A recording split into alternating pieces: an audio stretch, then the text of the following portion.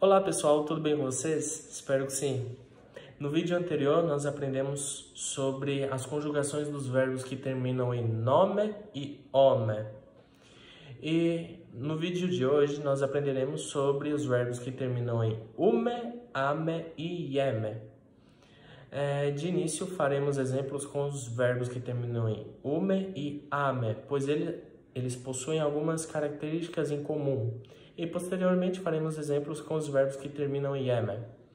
Bom, é, adotarei a mesma metodologia do vídeo anterior, onde eu conjugo os verbos na primeira pessoa do singular e posteriormente coloco uma imagem com as demais declinações, para que vocês possam ter é, um contato direto com essas declinações, tá bom?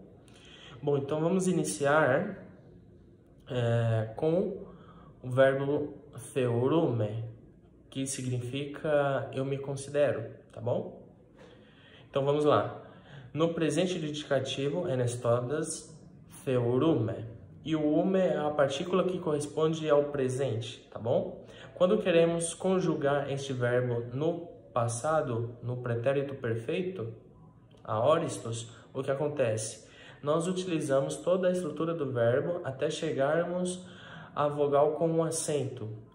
Neste caso deste verbo, é, a vogal com acento é um ditongo, é, onde nós temos é, a letra Omicron com o Y. Quando essas duas letras estão juntas, nós temos o ditongo que corresponde ao U no português. E esse ditongo, ele está com o acento. Então, fica correspondente à vogal com acento U. Tá bom? Então, vamos lá. Quando nós conjugamos o verbo theorume no pretérito perfeito, nós substituímos o ume por ífica. Então, é, a vogal com acento, ela permanece com acento. Só muda é, a vogal em si de U para I. Então, vamos lá. U para ita com acento. Então, teorífica. E quando nós queremos conjugar esse verbo no futuro, é, a partícula de futuro é, se corresponde como é, ithó. Então, o acento é pula uma casa à frente. Então, vamos lá. Nós utilizamos toda a estrutura do verbo até chegarmos é, a vogal com acento. Quando chegamos na vogal com acento, a vogal pula uma casa à frente. E a partícula que corresponde ao futuro é o ithó. Vocês percebam que é, a vogal com acento pulou uma casa à frente. Então temos lá theorithó. Recapitulando, presente de indicativo, theorume, pretérito perfeito, theorífica, e futuro theorithó, tá bom? Conjugação do verbo theorome no presente do indicativo é nestotas. Theorome, eu me considero. Theorice, tu te consideras. Theorite, ele, ela ou isso se considera. Theorumaste, nós nos consideramos. Theoriste, vós vos considerais. Theorude, eles se consideram. Conjugação do verbo theorume no pretérito perfeito aoristos. Theorífica, eu me considerei. Theorífiques, tu te consideraste. Theorífique, ele, ela ou isso se considerou. Theorificame, nós nos consideramos. Theorificate, vós vos considerastes. Theorifican, eles, elas ou essas se consideraram. Conjugação do verbo theoroma no futuro. Melodas. Tha theorithó, eu me considerarei. Tha theorithis, tu te considerarás. Tha theorithi, ele, ela ou isso se considerará. Tha theorithume, nós nos consideraremos.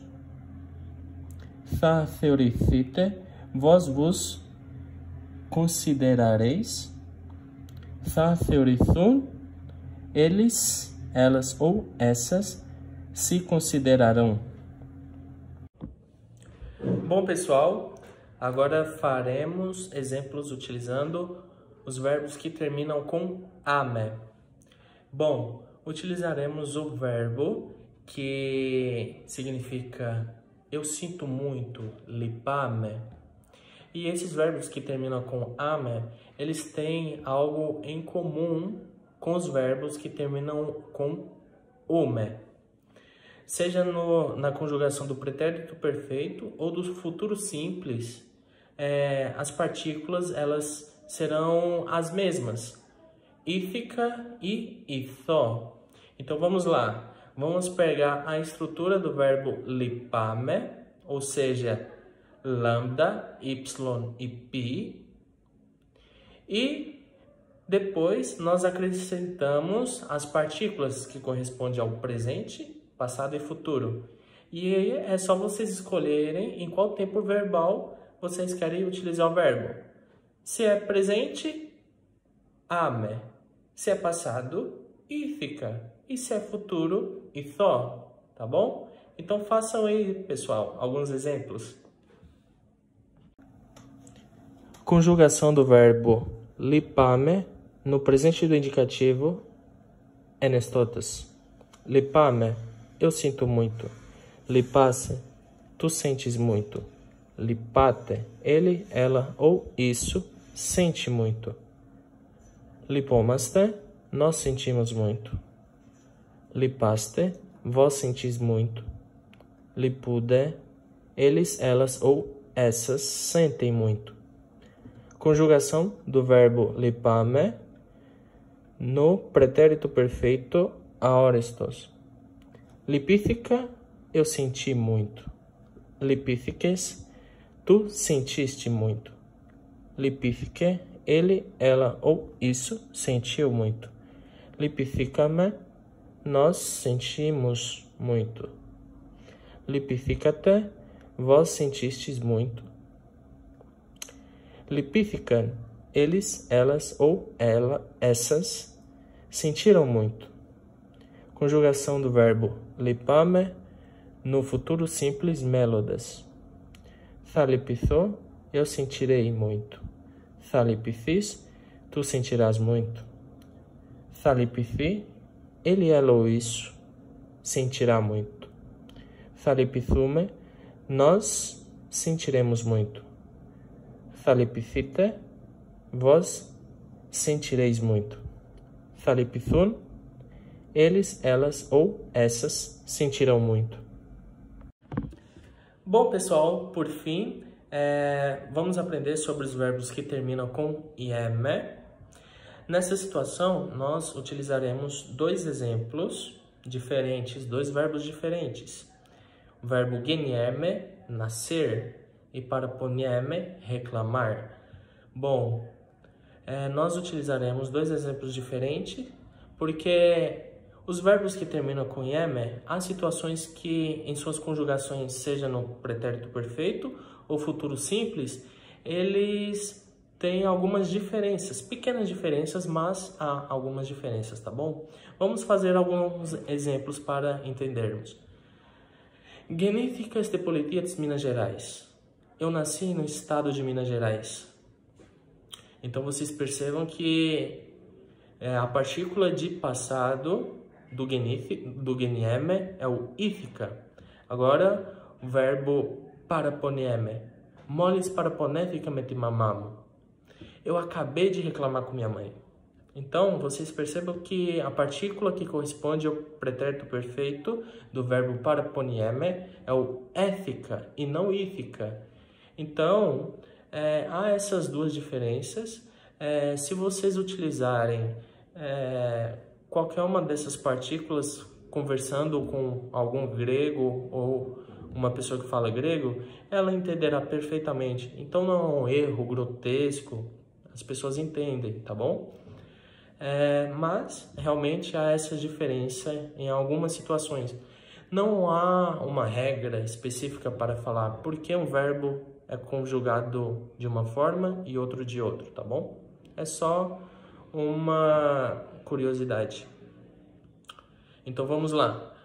É, para conjugarmos os verbos no pretérito perfeito, ou seja, no passado, utilizamos toda a estrutura do verbo até chegarmos a, a vogal com acento. Quando chegamos na vogal com acento, substituímos a partícula de presente pela partícula de passado. Então vamos lá. É, genieme, genífica, tá bom? E para ponieme, para ponéfica. No futuro, a mesma coisa éfica e ithó. Sagenithó, sa para poner thó, ok? Conjugação do verbo para ponieme, reclamar, no presente do indicativo, enestotas. Para ponieme, eu reclamo. Para poniesse, tu reclamas. Para poniete, ele, ela ou isso reclama. Para poniomaste, nós reclamamos. Para ponieste, vós reclamais. Para poniude, eles, elas ou essas reclamam. Conjugação do verbo no passado pretérito perfeito aoristos. Para ponéfica, eu reclamei para Ponéfiques, tu reclamaste. Para Ponéfique, ele, ela ou isso reclamou. Para Ponéficame, nós reclamamos. Para Ponéficate, vós reclamastes. Para Ponéfican, eles, elas ou essas reclamaram.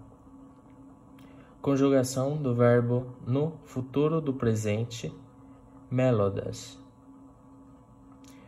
Tha para eu reclamarei. Tha para ponethis, tu reclamarás. Tha para ele reclamará. Tha para nós reclamaremos. Tha para ponethite, vós reclamareis. Pareponethon, eles, elas ou essas reclamarão.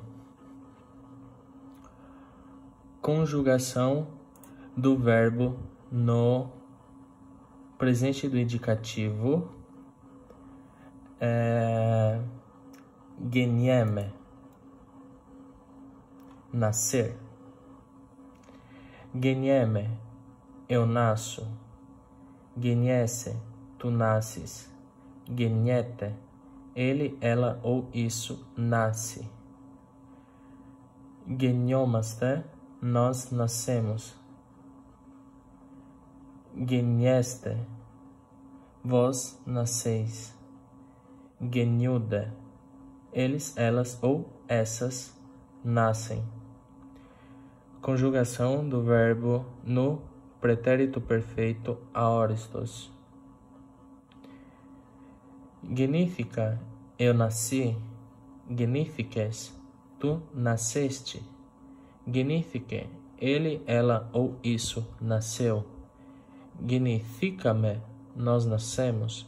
Genifica-te, vós nascestes. Genifican, eles, elas ou essas nasceram.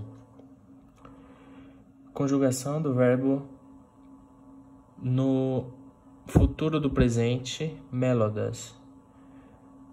Thagnithó, eu nascerei. Thagnithis, tu nascerás. Thagnithi, ele, ela ou isso nascerá. Thagnithume, nós nasceremos. Thagnithite, vós nascereis. Tha genithun, nós nascere, eles, elas ou el, essas nascerão.